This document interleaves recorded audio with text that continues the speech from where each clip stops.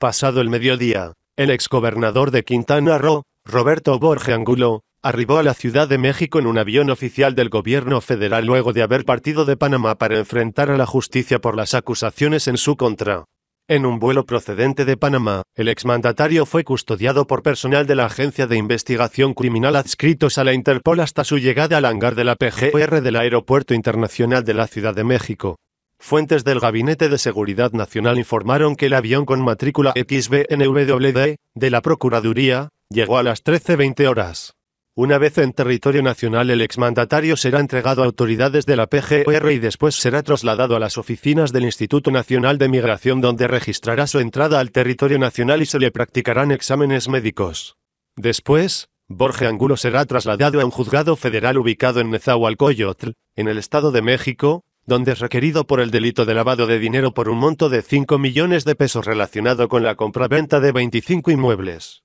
En la audiencia el exmandatario conocerá el motivo de su extradición y detención y el juez determinará su situación jurídica, así como el día en que iniciará el día la audiencia en Quintana Roo donde es requerido por los delitos de aprovechamiento ilícito del poder, desempeño irregular de la función pública y peculado. Autoridades de la PGR indicaron que se estima que Borge Angulo salga del hangar entre las 14.30 y 15 horas para realizar un recorrido hacia el juzgado de Nezahualcóyotl de aproximadamente de 20 minutos. Una vez que esté bajo la custodia de las autoridades del Poder Judicial de la Federación se llevará a cabo su registro y se estima que la audiencia pueda iniciar cerca de las 17 horas.